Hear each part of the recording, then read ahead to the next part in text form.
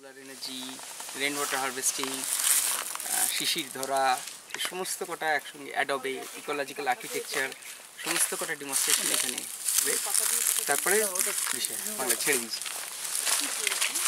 প্রাক্তন বসুধা আর কি নাকি? প্রাক্তন বসু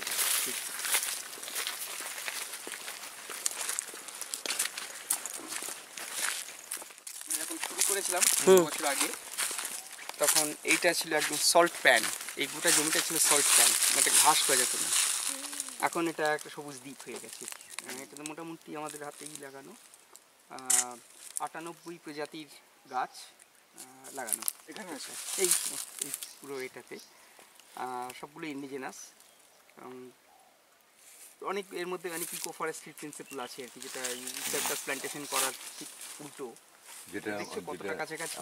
ইউক্যালিপটাসটা নেই দেখে আপনার বলার আগেই বুঝতে পেরেছি। হ্যাঁ ইউক্যালিপটাস লাগানোর কথা বলছি। ইউক্যালিপটাস যে পদ্ধতিতে লাগানো হয় প্ল্যান্টেশন তার ঠিক উল্টো পদ্ধতি ইকো ফরেস্ট্রি ইকোলজিক্যাল ফরেস্ট্রি ইউক্যালিপটাসটা তো এখানে আমি প্রজাতিটার কথা বলছি না।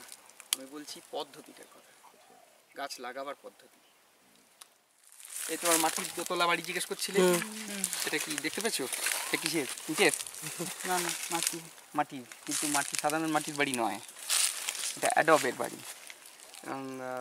উত্তর ভারতে এইটাই প্রথম এবং একমাত্র জিরো ইকোলজিক্যাল ফুটপ্রিন্ট বাড়ি।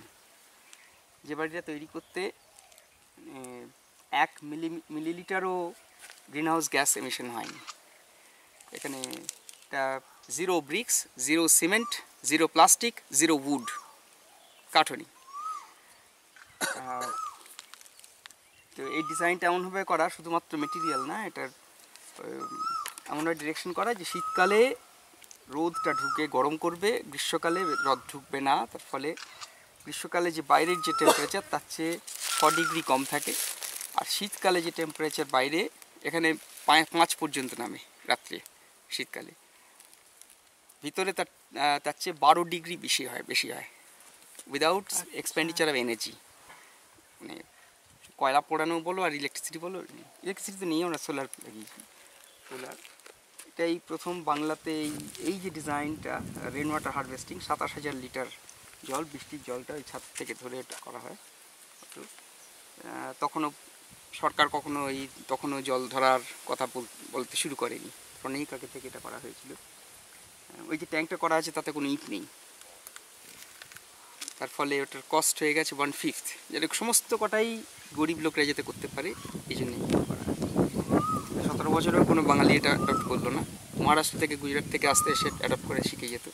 যে জিনিসটা এখনও পর্যন্ত কোনো সরকার বলেনি, শিশির ধরা, শিশির ধরে জল খাওয়া, তাহলে সেটা আমরা সেগুলো অ্যাডপ্ট হয়েছে এখানে